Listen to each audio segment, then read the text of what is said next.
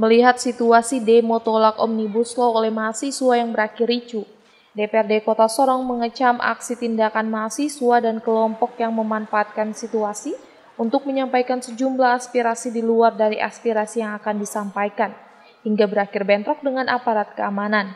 Kekesalan anggota DPRD ini dikarenakan sudah adanya respon baik DPRD untuk menerima mahasiswa, namun dalam prosesnya terjadi kericuhan hingga mengakibatkan sejumlah kaca bagian depan kantor DPRD pecah, bahkan sejumlah mobil anggota DPRD dirusak massa. DPRD mengancam jika kasus ini tidak diusut tuntas, ke depannya DPRD Kota Sorong tidak akan menerima aspirasi dari kelompok tertentu. DPRD juga tidak akan menerima aspirasi para pendemo terkait penolakan Undang-Undang Cipta Kerja hingga para terduga pelaku pengerusakan kantor DPRD segera ditangkap. Jika kami belum dan sampai dengan berapa minggu ke depan kelompok-kelompok yang membuat kekacauan ini sampai dengan yang mahasiswa yang mengkoordinir ini tidak di tidak dipanggil dan meminta keterangan dan tidak ada yang bertanggung jawab.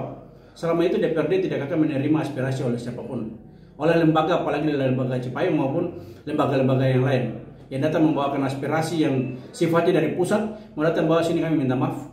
Kami tidak akan terima Bahkan Wakil Ketua DPRD Kota Sorong meminta agar tim Satgas COVID-19 segera melakukan pelacakan terhadap para pendemo yang mengikuti aksi tersebut agar dilakukan pemeriksaan COVID karena telah melanggar protokol kesehatan seperti tidak menggunakan masker dan menjaga jarak.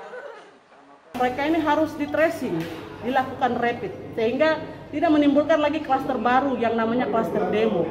Itu tolong diperhatikan, karena kota Sorong saat ini sudah tembus angka 1164. Kemarin pada saat demo itu saja kita Sorong baru naik 114, sehingga menjadi 1164. Lora Batlayeri, Kompas TV, Sorong, Papua Barat.